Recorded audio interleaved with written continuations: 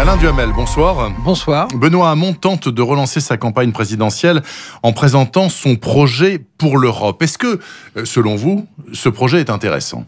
Bah, En tout cas, c'est euh, original. La, la, campagne de Benoît Hamon euh, se porte assez mal. Les sondages sont désespérément plats.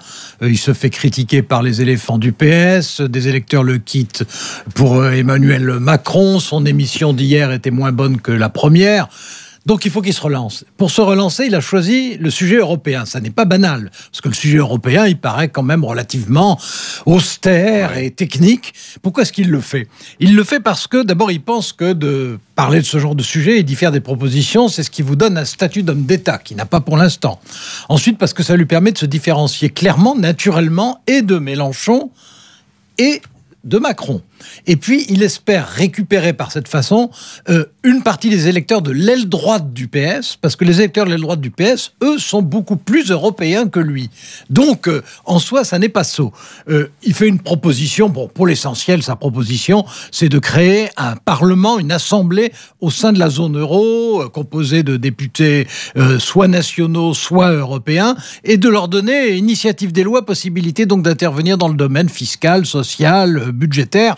Bon, il vient déjà de se faire euh, sèchement réprimander par François Hollande, qui lui a répliqué que c'était au gouvernement et pas à des parlementaires de faire ça. Mais disons, il a, il a des idées.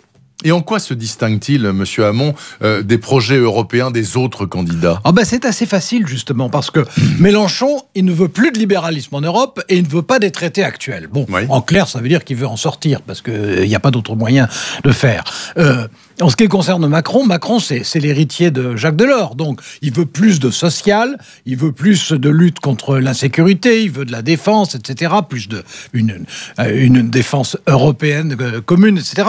En ce qui concerne Fillon, Fillon, c'est l'euro-réaliste chiracien classique, c'est-à-dire moins de, moins de dévolution de sujets à l'Europe, mais en revanche, plus d'autorité et d'efficacité à l'intérieur de la zone euro. Et puis euh, Marine Le Pen, on le sait bien, elle veut sortir de l'euro, sortir de l'Europe. Donc finalement, l'Europe, c'est un sujet sur lequel il est très facile de distinguer les projets des différents candidats. Marine Le Pen, elle, elle milite, vous venez de le dire, pour la sortie de l'Europe et de l'euro. Est-ce qu'elle peut espérer en faire euh, l'arme décisive, en quelque sorte, du second tour? Ah bah c'est sa grande idée. Elle considère que c'est le clivage entre souverainistes et européistes, donc euh, entre nationalistes et européens, Ouais. qui peut être l'arme fatale pour le second tour. Bon là-dessus, elle s'appuie, bah, elle s'appuie sur le, le grand mouvement populiste occidental, qui effectivement correspond assez largement à ce critère. Ça a été vrai en Grande-Bretagne, aux États-Unis. Elle pense que ça va être le cas, à tort ou à raison, mais elle pense que ça va être le cas la semaine prochaine aux Pays-Bas, où il y a un vote pour des élections législatives. Elle espère que ce sont ses amis qui vont l'emporter. Et puis euh, là aussi, elle, elle- elle considère que les catégories populaires françaises la suivront sur ce terrain. Je crois qu'elle se trompe complètement parce qu'il y a 70% des Français qui ne veulent pas sortir de l'euro et que la grande majorité des Français est critique vis-à-vis de l'Europe, mais veut l'améliorer et pas la disloquer. Et puis qu'au bout du compte, ce que les Français veulent, c'est de la protection et pas de l'aventure. Alain Duhamel, chaque soir sur RTL du lundi au vendredi, et donc dans trois jours, si je ne m'abuse, lundi, après le week-end, que je vous souhaite excellent, Alain. Merci. Merci beaucoup.